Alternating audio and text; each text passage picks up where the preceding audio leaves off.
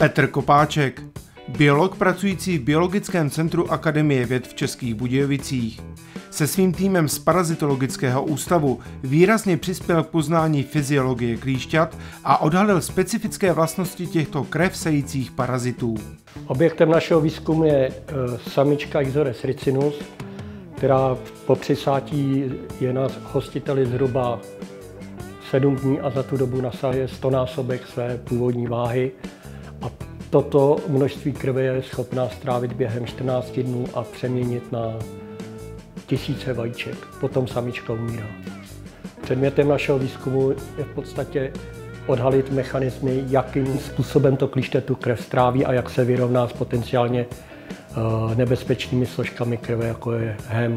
Parazitology zajímal především trávicí aparát klíštěte a snažili se zjistit, jak se umí vypořádat s hemem a s železem, tedy s potenciálně toxickými látkami. Tohle je nejnebezpečnější stádium vývojové klíštěte Ixodes ricinus, kde promořenost boreliema v naší oblasti je zhruba 25% Je to snadno přehlednutelné, je to opravdu ten nejčastější zdroj nákazy limskou boreliozou.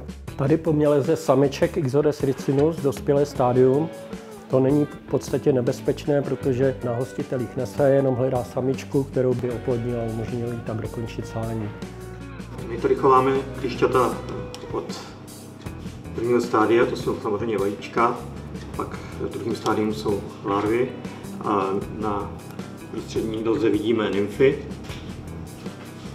Samičky jsou tady na mechu, to jsou vlastně sběry klíšťat a tady jsou samci, kteří jsou odlišní od samiček, že nemají ten červený lem, který právě samičkám dovolí, aby se nasály. Nejdůležitějším zjištěním výzkumu je, že klíšťata ztratila během evoluce svého parazitického života schopnost syntetizovat hem. Klíšťata nejsou schopná ani hem rozkládat a tím recyklovat železo, jako to dělá většina eukaryotických organismů. Proto jsou klíšťata zcela závislá na příjmu hemu a železa z hostitelské krve.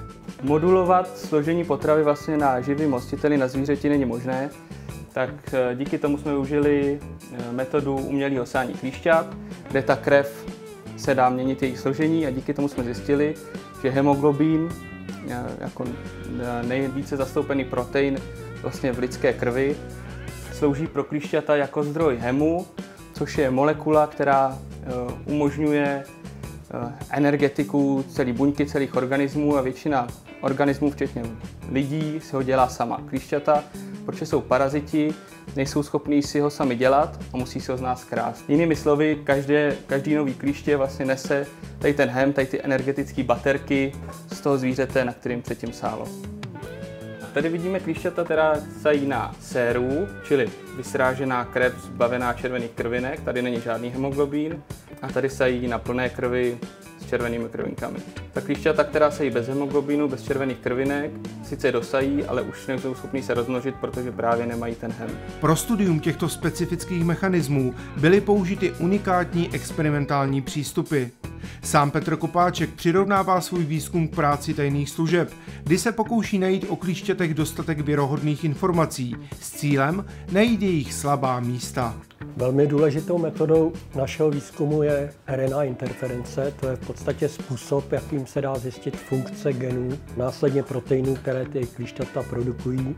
Ta RNA interference slouží něco jako vypínač.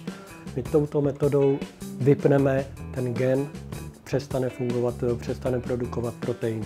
Dělá se to pomocí napichování dvojvláknové ribonuklové kyseliny. Potom takzvaně vypneme gen a protein, který, eh, který kóduje, tak zjišťujeme, jaký to má dopad na fyziologii klíštěte, to znamená, jak je to klíště schopné se dosát, vyklást, eventuálně jestli jsou nějaké změny na vnitřních orgánech klíštěte, na střevu, na slíných žlázách, na ováriích, to znamená tkání, která produkuje vajíčka. Výsledky výzkumu byly zveřejněny v 19 vědeckých publikacích ve špičkových vědeckých časopisech a získané poznatky mohou vést k nalezení potenciálních cílů pro účinné protiklíštěcí prostředky nebo vakcíny. Nemůžu říct, že ta cesta k těm vakcínám je rychlá a jednoznačná. Proto my se snažíme mít dostatek ověřených, opravdu poctivých informací, které skládáme jako mozaiku, tak, aby jsme věděli, kterou cestou se dát. A jednou, jednou z těchto těch cest si myslíme, že je právě metabolismus hemoglobínu a hemo.